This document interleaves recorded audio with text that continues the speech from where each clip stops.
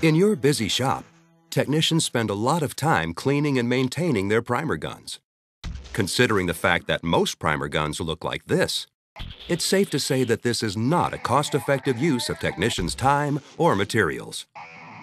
A lot of shops simply use cheap guns for primer application and settle for their performance.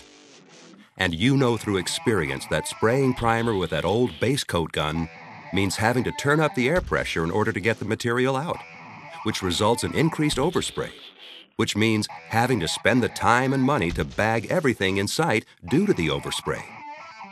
Then there's the additional sanding and blocking required, which often results in technicians cutting through the repair, which requires repriming, and the repair area ends up even larger. Because of the guns you're using, you've also experienced having to spray additional coats due to poor film build, uneven fluid distribution, and poor finish quality. And what happens when a technician doesn't properly clean the primer gun? Or worst case, completely forgets to clean the gun? Wouldn't it be great to have a premium spray gun that sprays like it's brand new every time, on demand, at a fraction of the cost without settling for inferior results? Introducing the latest spray application technology from the same people who brought you the 3M PPS system. The 3M AccuSpray system. This HVLP gravity feed spray gun is designed for the application of primer. This spray gun's innovative replaceable atomizing head gives you new gun performance on demand at a fraction of the cost of your current primer application process. You know that in any painting process, production rate and material savings are just as important as finish quality to your bottom line. With the 3M AccuSpray system, you don't have to choose one over the other. Notice how the precision-engineered atomizing head delivers a large, usable spray pattern. This soft, tight, adjustable spray pattern creates complete atomization, resulting in a high finish quality and absolute application control. The 3M AccuSpray system offers the speed of the best performing conventional spray gun with very little overspray. The 3M AccuSpray system is durable, dependable, and ergonomic. Minimal overspray means less time masking, bagging, and cleaning up. Accurate spray means the primer lands where the painter intends, reducing primer consumption and saving money. A large usable spray pattern decreases production time and provides a more consistent finish. Complete primer atomization produces a flatter, smoother finish, requiring less sanding. And during cleanup, the ability to see that the atomizing head is clean means reduction in solvent consumption and less time spent cleaning. Both significant cost savings to your operations. The 3M AccuSpray system saves you money by reducing cost in time and materials, and by increasing your shop's productivity. Let's take a closer look at how the revolutionary new 3M AccuSpray system works. As with any paint application process, make sure to use proper personal protective equipment. First, attach the airflow control valve to the inlet of the gun by threading it on and hand tightening it. Remove an atomizing head from the wall mount dispenser and attach it to the head of the spray gun, sliding the atomizing head over the fluid needle. Make sure to align the latches on the atomizing head with the latch openings on the gun handle. Pull back the trigger of the spray gun, push the atomizing head into the gun body, and listen for a double click to ensure that it is fully engaged. Secure the spray gun to a PPS cup by inverting the gun and attaching the atomizing head with a quick quarter turn. Attach compressed air line to spray gun, then set air pressure on the airflow control valve. Next, adjust fan and fluid control knobs on the spray gun before spraying vehicle or substrate to be primed. Adjust control knobs to achieve the desired size of pattern and wetness of fluid. Once control knobs have been adjusted, readjust the airflow control valve to read 20 psi or less at full trigger pull. Once spraying is complete, remove the atomizing head from the PPS cup. Flush the atomizing head with solvent until the atomizing head is clear of primer. Remember that because the 3M AccuSpray system's atomizing head is clear, it makes it easy to tell when it is clean compared to your existing spray gun.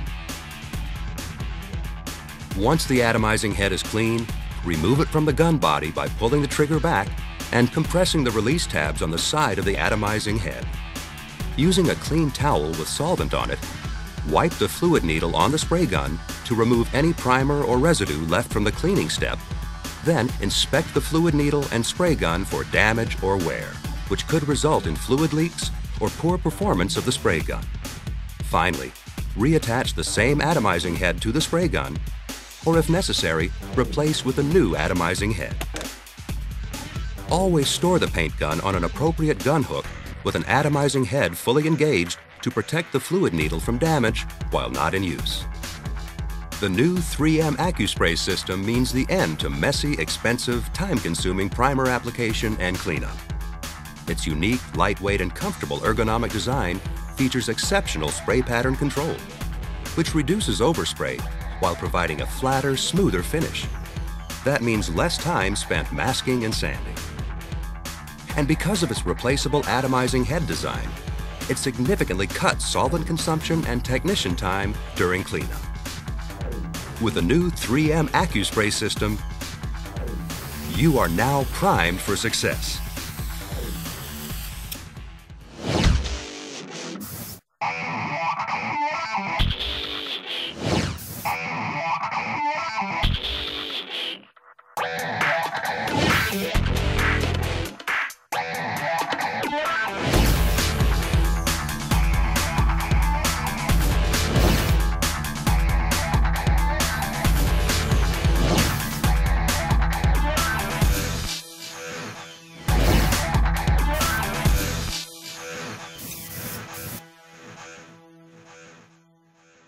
Here are a few tips on getting the most out of the 3M AccuSpray system. When tightening airflow control valve to spray gun, use two wrenches so that you don't damage the inlet to the spray gun. When attaching atomizing head to spray gun, make sure that you line up the latches on the atomizing head to the latch openings on the spray gun before attaching. Failure to do this could result in damage to the latches on the atomizing head. When attaching the atomizing head to the spray gun, make sure you hear the double click. This way you assure the atomizing head is fully secured to the gun body. When setting the air pressure, pull back the trigger of the spray gun to first stage air only.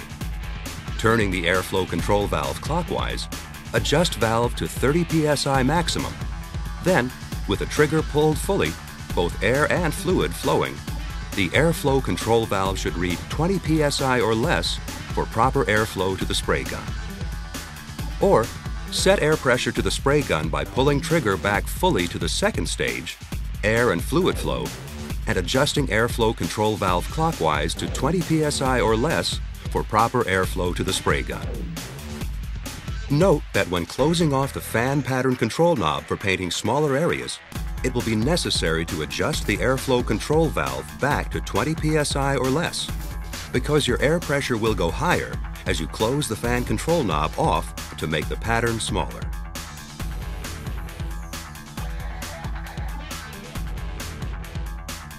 Always pull the trigger back when attaching and removing atomizing head from spray gun. Failure to do this could damage the fluid needle.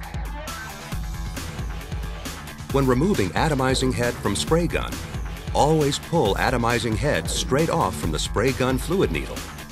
Failure to do this may cause you to damage or bend the fluid needle. When cleaning atomizing head after use, don't back pressure gun, as this can cause damage to the gun. Never put spray gun or atomizing head in spray gun washer damage could occur to both spray gun and atomizing head. Never leave solvent in atomizing head.